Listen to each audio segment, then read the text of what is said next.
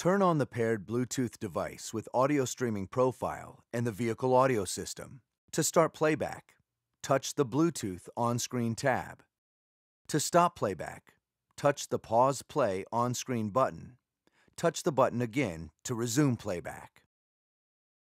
With a Pandora Internet Radio account and the Pandora app installed on your Bluetooth audio device, you can play and operate Pandora using the audio system controls. To listen to Pandora, touch the Pandora on-screen tab.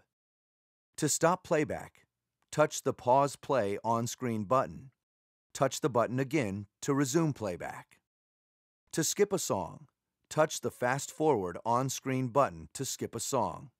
To select a station from your programmed list, touch the Stations on-screen button and then select the desired station. To like a song, touch the Thumbs Up on-screen button. To dislike a song, touch the Thumbs Down on-screen button. To bookmark a song or artist to check out later on the web, touch the Bookmark button on the right side of the song or artist name.